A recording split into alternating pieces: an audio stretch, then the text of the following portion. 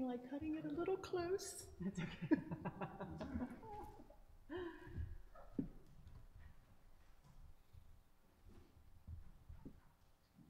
Oh, sure. Hi, Frank. How are we doing with the tea bags? Anybody know? Oh, there's a huge pile out there. Oh, good, but we, Huge. we probably still need some. I would say it's a Yeah. out there. Okay.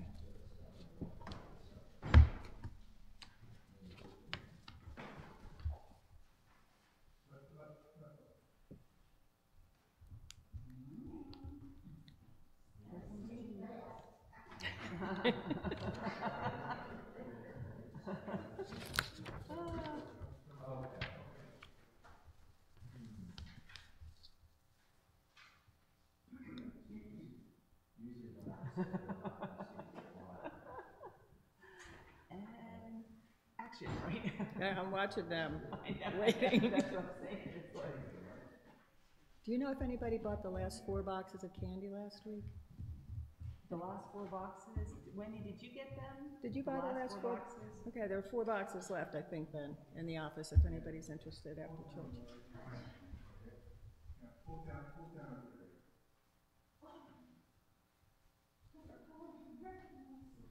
Hi, Jeannie.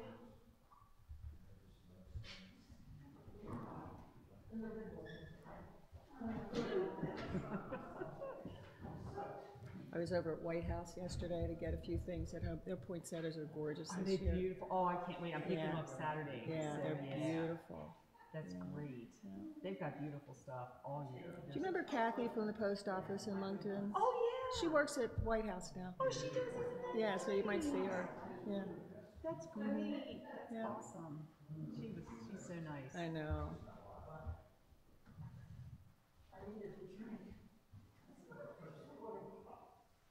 Good morning and welcome to Monkton Church on this third Sunday in Advent. It's a beautiful day. Uh, we're going to start with Surely the Presence of the Lord.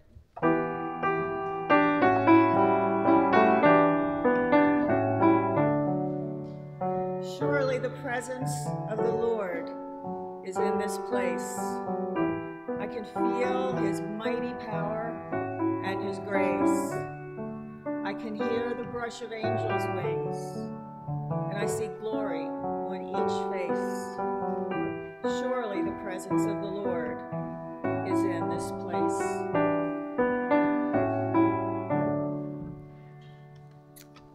Announcements this morning. Um, the UMW is asking for help in supporting Manna House. Um, this is a really difficult time for the homeless, the hungry, uh, and we would like to sponsor a breakfast for Manna House again. We've done, done, done that in the past. And it's $500 to sponsor. The UMW has about $250 to put toward it, and we're asking for you to help make up the difference. There's a basket over there, and for those of you online, you could send a donation and just mark it uh, Manna House. That would be great. Um, the food bank, thanks for your continued support there as well. Uh, we're also we're still collecting the tea bags, the boxes of 100 tea bags for the Christmas boxes. We're doing great. Thank you to everybody who's brought them so far. Uh, we still need a few more, I believe. So please bring those. We need 14 more. Thank you. Um, the Tuesday Bible study continues at Casamia at 11 and on Zoom. You can find the link in the weekly email from Pastor Bruce. If you use the hymnal in the bag in your pew, please leave it on the pew when uh, you leave today. And finally, please continue to um, support the church with your gifts. Um, you can mail them to the address in the bulletin uh, or put them in the plates.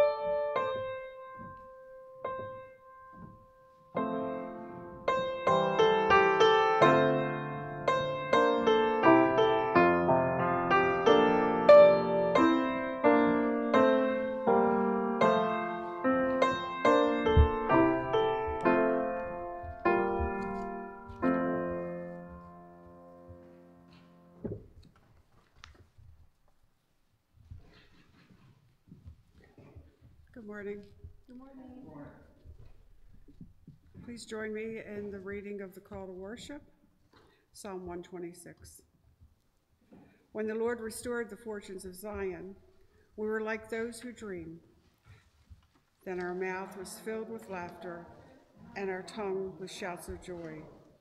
And they said among the nations, The Lord has done great things for them. The Lord has done great things for us, and we are glad. Restore our fortunes, O Lord, like the watercourses in the Negev. May those who sow in tears reap with shouts of joy. Those who go forth weeping, bearing the seed for sowing, shall come home with shouts of joy, carrying their sheaves.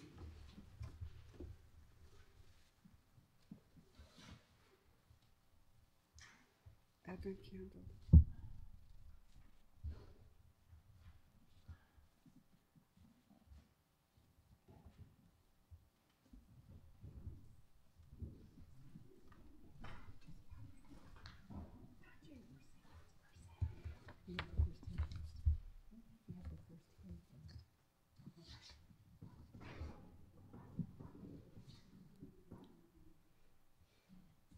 The uh, opening hymn this morning is page 211, O come, O come, Emmanuel. Uh, Stand if you are able. Oops, I'm sorry, verses 5 through 7. I missed that part. Okay.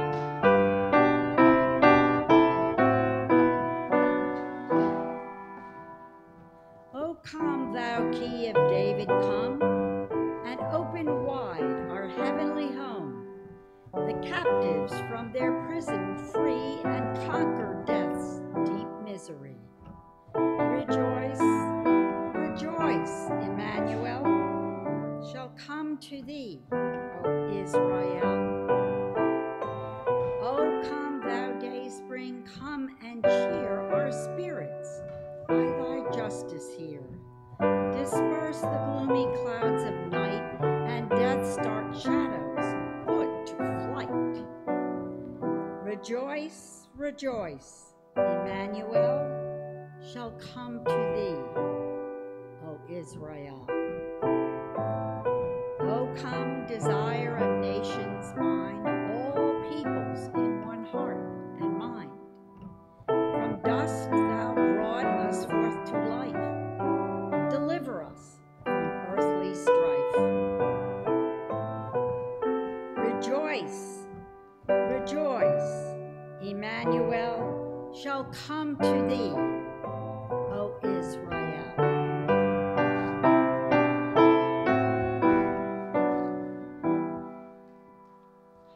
You can remain standing for the unison prayer that's in your bulletin. Holy and compassionate God, your faithfulness in all things produces the harvest of our joy. We rejoice in you always. Even in our seasons of doubt and darkness, we can find joy in the presence of Christ in our neighbors and the witness of the Holy Spirit in creation. Stir up our holy joy that we may share it with all whom we encounter. Come, Lord Jesus, come. Amen.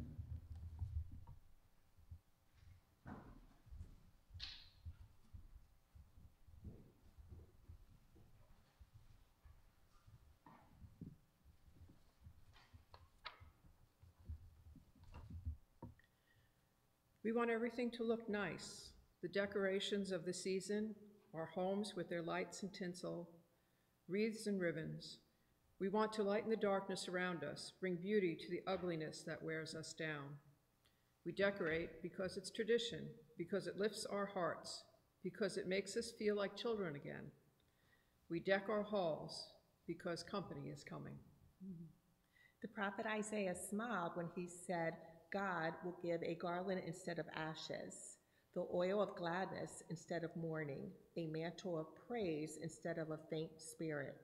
No matter how far we feel from the spirit of the season, God promises to decorate us with love and with joy. We light these candles as a sign of our joy in the beautiful things of this season, not just the things that glitter and flash, but the deeper things, the beauty of the heart and the soul, beauty of love shared in service and hospitality. We light this candle of joy because company is coming. O come, O come, Emmanuel.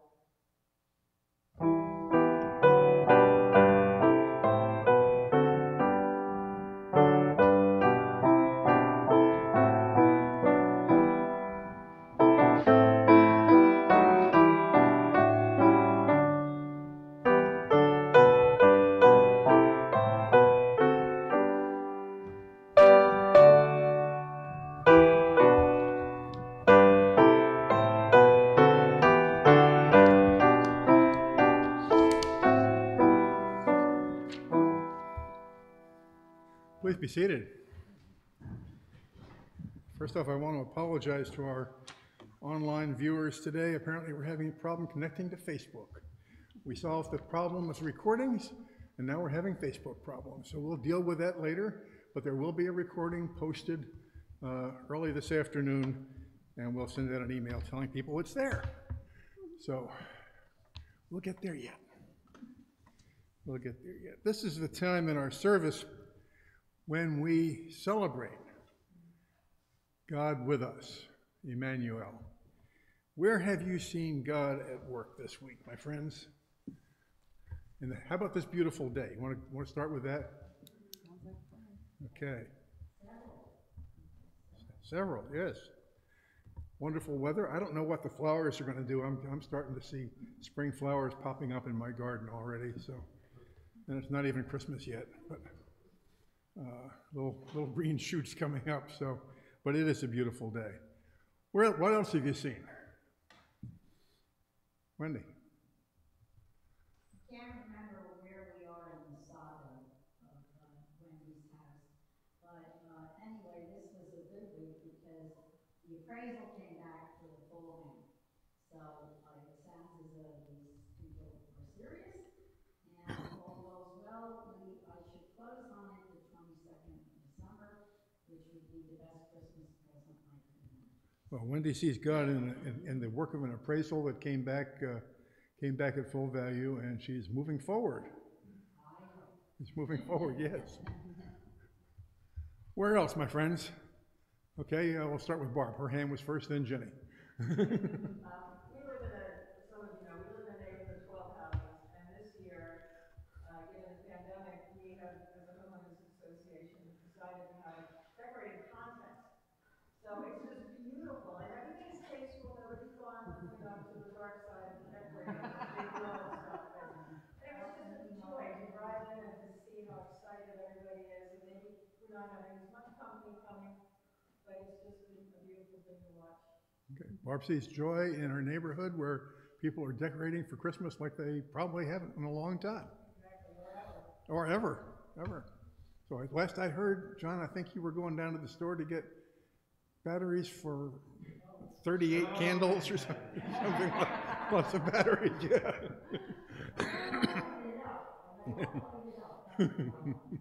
Okay, Jenny. Jenny. Last Sunday, when I couldn't come to church because my son was waiting for his test results, which thank God we had them. Um, Donna showed up at my house with some of her delicious donations. Oh, That's very nice, thank you. And we'll give thanks for your negative test. Well, it was for Mike's, Mike's, and, and we'll give thanks for, and we'll give thanks for uh, Bill's negative test as well last Sunday after he, after he traveled back from Florida. You studied hard for your test, yeah, okay.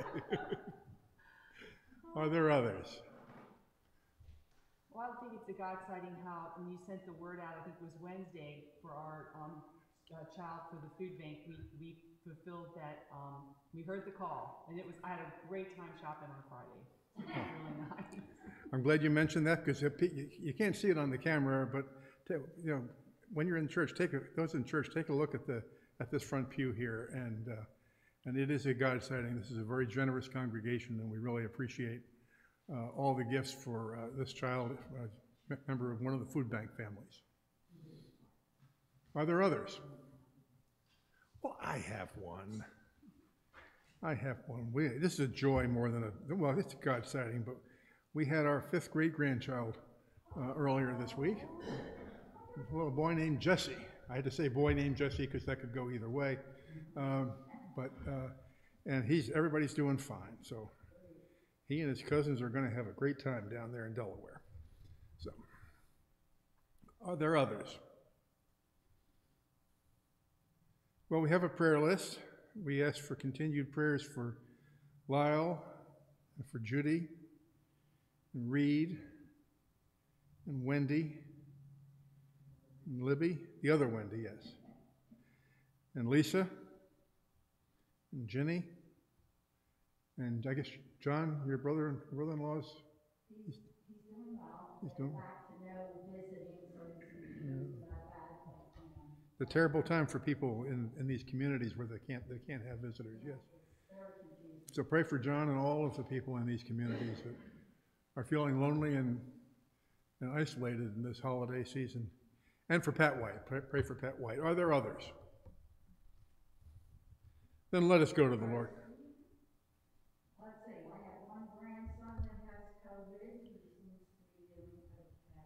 His name is Leon. Leon? Liam. Liam. Father also has COVID, George. It is getting bad. Another friend has COVID, she says she's been cleared. And then I have another friend, Barton, that may have. No. I'll pray for Liam and George and all and your friends and and all of those who are suffering from this terrible disease. And let's give thanks that uh, the, the vaccinations will be will be starting tomorrow, I guess. Are there others? Oh, Joyce.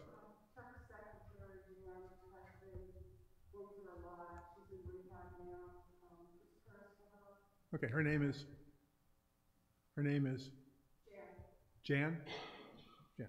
We'll pray for Jan, who's in rehab, uh, as she continues to heal. Yes. Are there others? Then let us go to the Lord in prayer.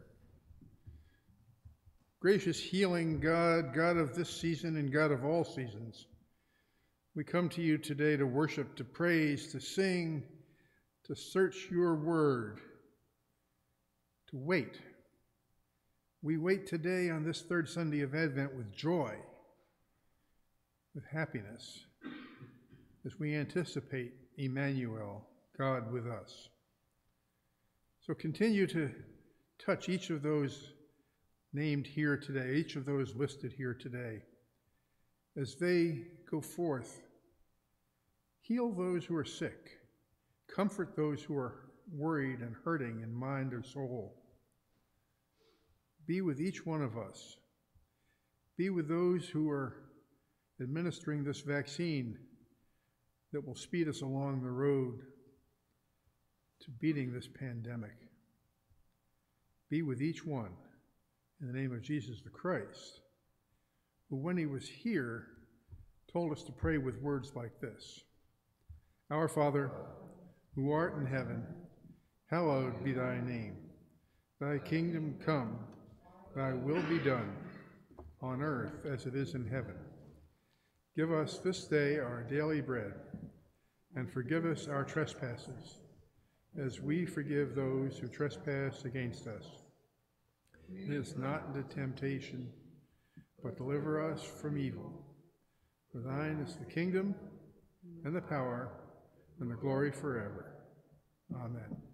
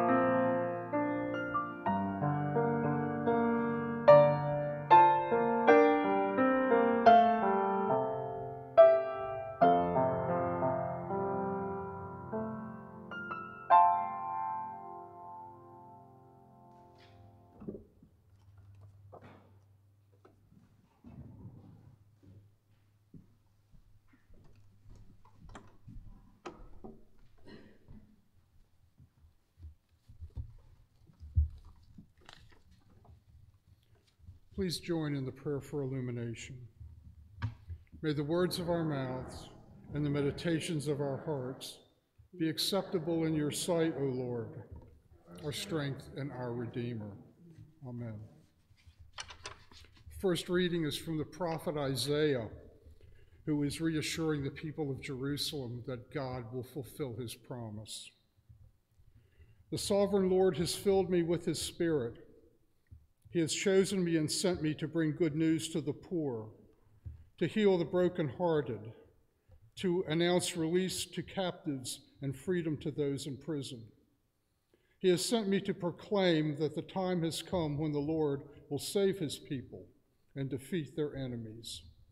He has sent me to comfort all who mourn, to give to those who mourn in Zion joy and gladness instead of grief, a song of praise instead of sorrow. They will be like trees that the Lord Himself has planted, and they will all do what is right, and God will be praised for what He has done. They will rebuild cities that have long been in ruins. The Lord says, I love justice and I hate oppression and crime. I will faithfully reward my people and make an eternal covenant with them. They will be famous among the nations. Everyone who sees them will know that they are a people whom I have blessed. Jerusalem rejoices because of what the Lord has done. She is like a bride dressed for her wedding. God has clothed her with salvation and victory. And surely as seeds sprout and grow, the sovereign Lord will save his people, and all the nations will praise him.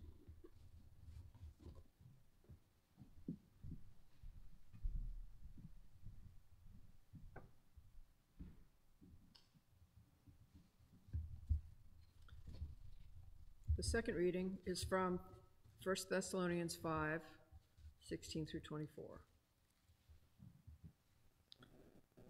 Be joyful always, pray at all times, be thankful in all circumstances. This is what God wants from you in your life in union with Christ Jesus. Do not restrain the Holy Spirit. Do not despise inspired messages. Put all things to the test. Keep what is good and avoid every kind of evil. May the God who gives us peace make you holy in every way and keep your whole being, spirit, soul, and body, free from every fault at the company of our Lord Jesus Christ. He who calls you will do it, because he is faithful.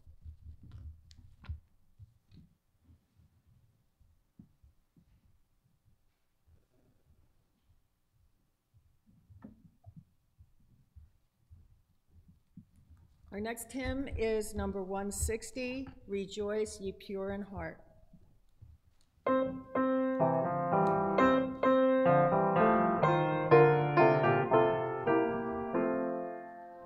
Rejoice, ye pure in heart. Rejoice, give thanks, and sing. Your glorious banner wave on high, the cross of Christ, your King. Rejoice, rejoice, rejoice, give thanks, and sing. Your clear hosannas raise, and alleluias loud, while answering echoes upward float like wreaths of incense cloud. Rejoice, rejoice, rejoice, give thanks, and sing.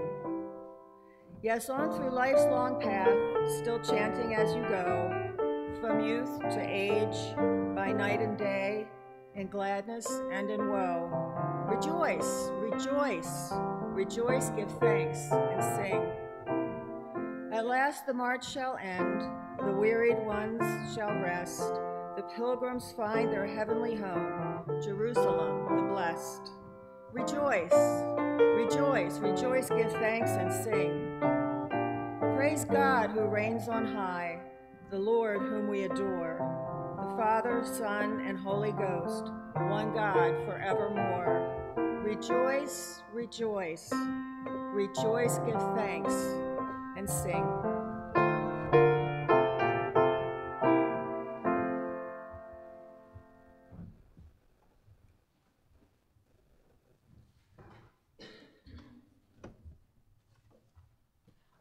The gospel lesson today is from John chapter 1, verses 6 through 8 and 19 through 28. There was a man sent from God whose name was John. He came as a witness to testify concerning that light, so that through him all might believe. He himself was not the light, he came only as a witness to the light. Now, this was John's testimony when the Jewish leaders in Jerusalem sent priests and Levites to ask him who he was. He did not fail to confess, but confessed freely, I am not the Messiah. They asked him, Then who are you? Are you Elijah? He said, I am not. Are you the prophet? He answered, No. Finally, they said, Who are you? Give us an answer to take back to those who sent us. What do you say about yourself? John replied in the words of Isaiah the prophet I am the one, I am the voice of one calling in the wilderness. Make straight the way for the Lord. Now the Pharisees who had been sent questioned him. And then, why then do you baptize if you are not the Messiah, nor Elijah, nor the prophet? I baptize with water, John replied. But among you stands one you do not know. He is the one who comes after me, the straps of whose sandals I am not worthy to untie. This all happened at Bethany on the side of the Jordan where John was baptizing.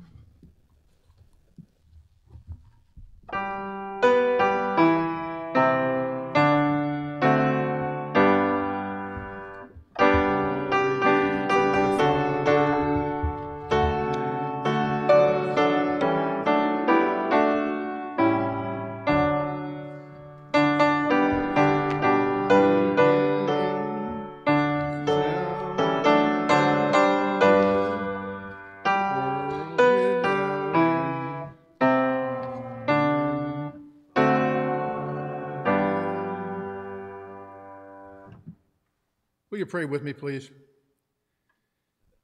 God of hope, you guide us home from the exile of selfish oppression to the freedom of justice, to the balm of healing, to the joy of sharing.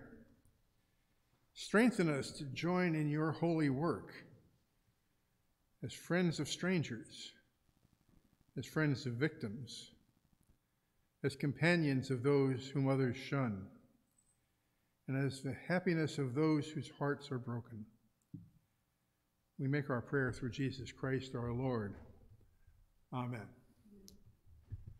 Joy, joy to each of you on this third Sunday of Advent. We've lit, lit the pink candle, the some people call it the mother candle, the joy candle of Advent. You know, originally, Advent was a penitential season time of prayer and penance and sacrifice and fasting.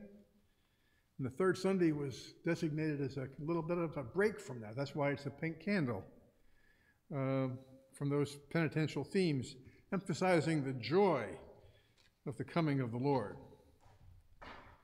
Joy. Joy is something we heard in the proclamation from Isaiah, which Chuck read a few minutes ago.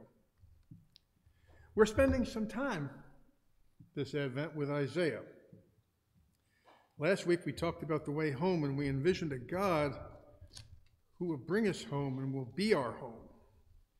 And we're going to go back to Isaiah again today, but not to the same Isaiah we heard last week.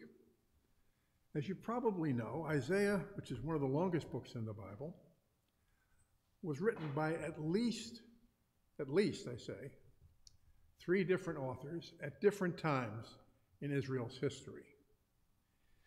It was a long stretch of years during which those people, using the pen name Isaiah, recorded what we read there. But the books are all related to each other. Last week we heard a passage to the, written to the Hebrew people while they were in exile in Babylon. It came from the 40th chapter, what's, what the scholars call part of Deutero Isaiah, the second part of the three book trilogy. This morning, Chuck read from the 61st chapter, which was not written to people living in captivity, but people who had already returned, who had been liberated from that captivity and returned home. And they were living the dream that their parents and grandparents had dreamed for generations. But once they made it back to Israel, it wasn't the Disney World landscape that had been imagined. The people who were back home had never really actually been there for the most part. They had heard tales of it passed down from the generations from their parents and grandparents, great grandparents, those who had once lived there before the exile. And the memories that those ancestors had shared, well, let's say they were probably a bit exaggerated, or at least seen through rose colored glasses. I think we all probably have that tendency, don't we? To look back on the good old days make our childhoods larger and grander than they were. We remember a house. It was, oh, a mansion for us. More than enough for our family. And the woods out back, a forest, a deep forest that we explored. And just the wonderful, all the wonderful things that we remember in our mind's eye. But then we go back we go back home and eh, the house is nice enough. The forest, well, actually, there's a development behind it, you know? And we see something different than what we remember. Reality and remembrance are not always the same. So it was for those Israelites once they returned home. In fact, it was worse because during the exile, Things had fallen into disrepair. Houses that had stood unoccupied will do what houses that stand unoccupied will do. They had deteriorated. The temple had been destroyed. Isaiah describes it this way, and I'm quoting The ancient ruins, the places long devastated, the ruined cities that have been devastated for generations, even in their liberation from exile in Babylon. The people of Israel faced challenges of monumental proportion. They had to make things right again to make it feel like home. And they needed a guide. They needed some way to get there, somebody to lead them. So, whether the topic in our lives is relationships or our work, our physical conditioning, re entering the workplace after an extended absence, a lot of people are facing that rebuilding a business or a church, host of other endeavors, endeavors, going back home is not like riding a bicycle. You don't just hop up on it and begin to pedal. The Israelites returned home, there was work to be done. And yet, they wanted to make things right. And this is the news of great joy. They didn't have to rely solely on their own strength to correct that what had, go- what had gone wrong. They were given the promise that someone was going to come to them who would guide them, who would guide them on the journey, help them do the heavy lifting, at least in the spiritual or emotional sense. God would send someone who would say, the Spirit of the Lord is upon me to preach good news to the poor, to bind up the brokenhearted, to proclaim release for the captives, to announce that the year of the Lord's favor had come, to provide comfort to all who mourn, and to bestow on them a crown of beauty instead of a crown of ashes, and the oil of joy instead of mourning, and a garment of praise instead of a spirit of despair. It would be centuries. It'd be a long time. But God keeps God's promises. That message of hope carried the people of Israel through because they were going to get a guide. And when that guide came and he returned to his hometown of Nazareth and led worship in the synagogue there, his sermon that day was clear and concise and to the point. He simply read that passage from Isaiah and said, Today, these words have been fulfilled in your hearing. Advent is a season when we look forward to the arrival of that special someone who God is sending to guide us into the right kind of life. But, but then there's this. The biblical truth is that God doesn't force himself on us. We read in Revelation that God simply stands at the door and knocks.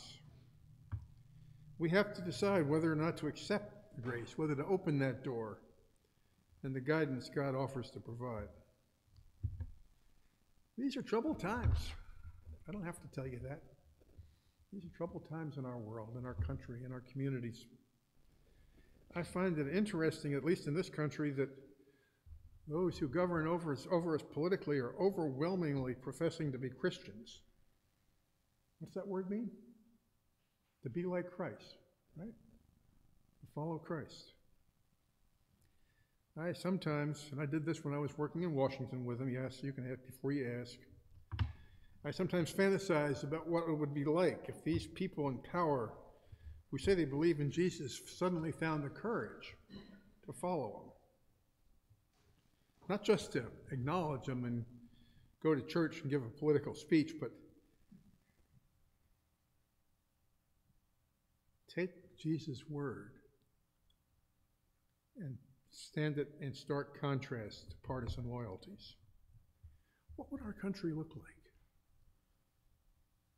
if people in power who claim to be Christians would courageously and consistently practice what they profess? Before we get too high and mighty, what would it look like if churches did the same? Wouldn't it be exciting to witness what it means to rebuild the ruins, as Isaiah put it? To see what would happen if we radically, dramatically began to actually practice what we preach? What miracles could the faith community see if we did that? And in our own personal lives, what potential remains untapped? Because we're determined to create our own dreams and forge our own paths without ever consulting the one who stands at the door and knocks. Are we ready to open that door to that one? The worrying thing is that there, these are logical arguments. And they come out maybe sometimes out of an act of desperation.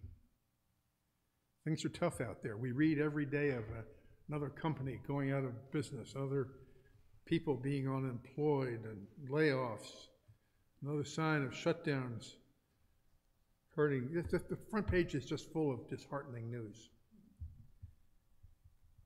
Desperation sometimes calls for desperate solutions. Not solutions of desperation, but solutions of faith. Isaiah, Isaiah understood that. It was going to be hundreds of years before the one that Isaiah prophesied would come. But come he was. He was coming.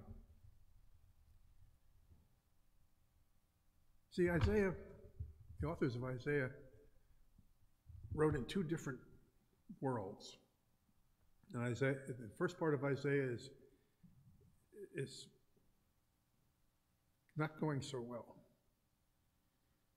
There, there was a mode of judgment and warning. And then in the middle, in the middle, we have this exile. And then in the reading today, we return to joy. So you have this kind of joy, sadness, joy. He's saying, look at, look at one another. Look what you're doing to each other. Look at how you're living. Look at the source of your worth. Look at what, look at the foundations of your society. Does your, what you're doing reflect your status as the people of God? The second half of the book speaks to desperate people. That middle part speaks to desperate people who have lost all, who are hungry and afraid and homeless. They're refugees.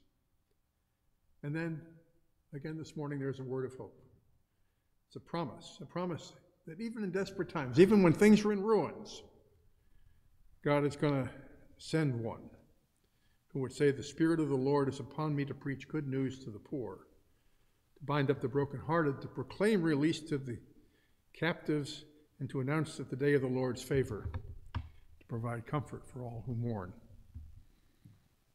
Jesus said, Today, these words have been fulfilled in your presence.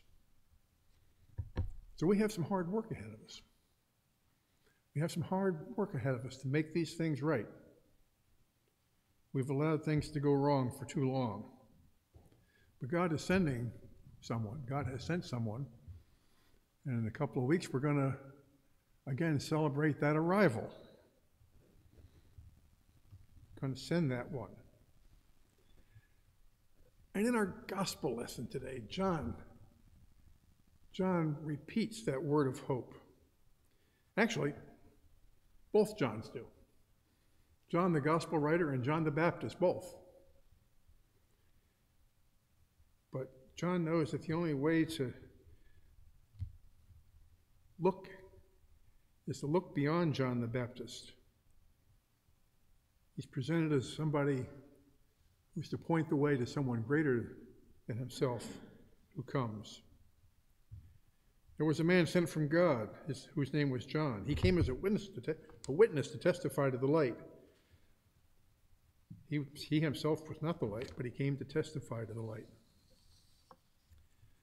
Temptation's always going to be there to keep our expectations locked away in that manger keep that our hopes kind of in a dream world of Christmas cards and Christmas carols. But God sent one who brings his own agenda. God sent one who has his own building plan. And sometimes that means the plans that we made have to be modified or even thrown out altogether. There's a saying, you've probably heard it. If you want to make God laugh, tell God your plans. We have to set our plans aside. We have to set our plans aside because ultimately only doing what God wants will bring us life. Will you pray with me, please? God of fresh starts and second chances, Move again into our world. Come into our world through the miracle of incarnation. And open our ears and hearts and minds to the counsel of Christ, that we might make life right again. It's in Jesus' name we pray. Amen.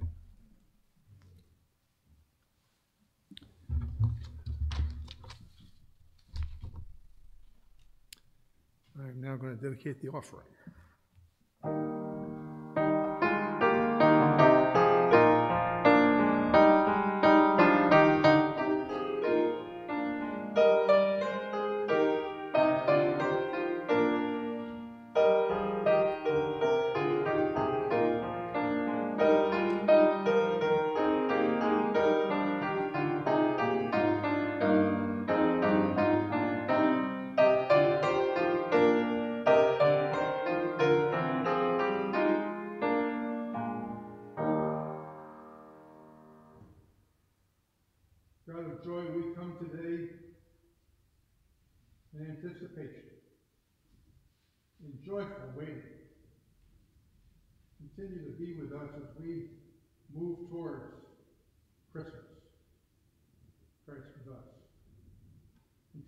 Take these offerings from what you've given us and use them so that all may come to know the love, the grace, and the salvation found in Jesus. In his name we boldly give. Amen.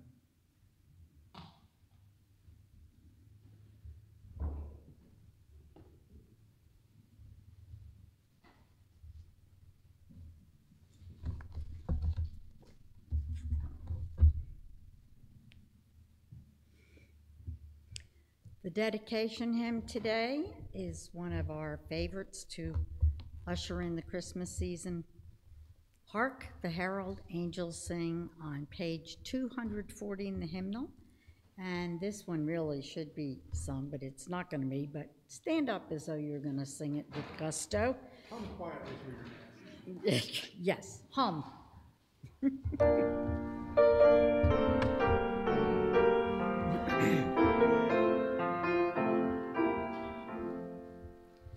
Hark, the herald angels sing, Glory to the newborn King. Peace on earth and mercy mild, God and sinners reconciled. Joyful all ye nations rise, join the triumph of the skies. With the angelic host proclaim, Christ is born in Bethlehem. Hark the herald angels sing, Glory to the newborn King. Christ by highest heaven adored, Christ the everlasting Lord. Late in time, behold him come, offspring of a virgin's womb. Veiled in flesh, the Godhead see, hail the incarnate deity. Pleased with us in flesh to dwell, Jesus, our Emmanuel. Hark the herald angels sing, Glory to the newborn King. Hail the heaven born Prince of Peace, hail the Sun of Righteousness. Light and life to all he brings, risen with healing in his wings. Mild he lays his glory by, born that we no more may die. Born to raise us from the earth, born to give us second birth. Hark the herald angels sing, Glory to the newborn King.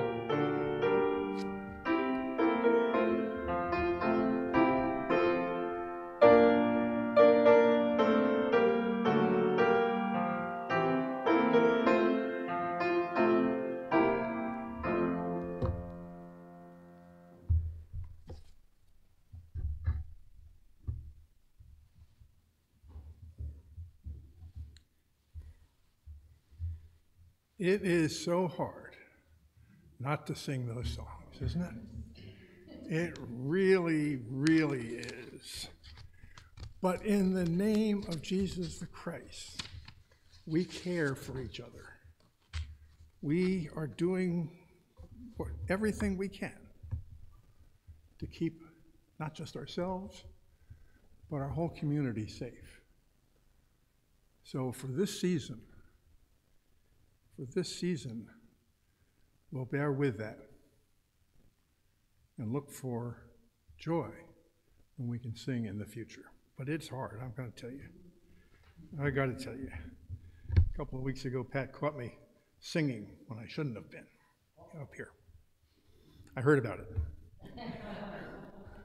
and now, my friends, go in peace, go in joy. Go to love and care for one another in the name of Christ. And may God the Creator bless you richly. May Christ the Son pour his riches on each of you. And may the Holy Spirit comfort and support and lead us in the paths of hope and of peace and of joy and of love, now and forevermore. Go in peace. Amen.